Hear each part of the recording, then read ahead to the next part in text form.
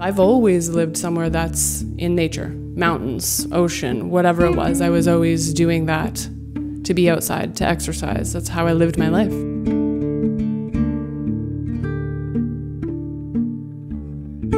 Nature resonates in me. It always has drawn me back. Wherever I end up, I always am there. I am punk rock, but there's some hippie shit mixed in there.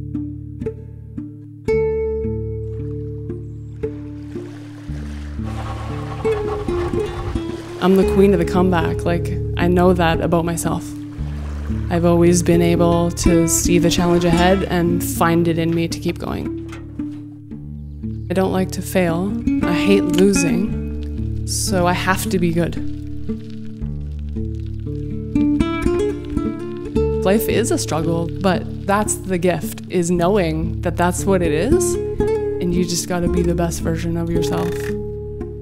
And when you have health problems, you start focusing on the things that really matter and putting efforts into the things that you need to because you need to survive.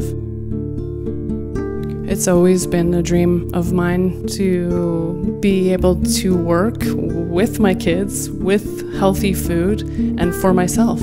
My intention was to provide our town with somewhere quick and easy and super nutritious and affordable that people could go. They could know that they were actually eating food grown in their town. It's a tiny little trailer, and we serve vegetarian food, and my kids work with me. It's perfect.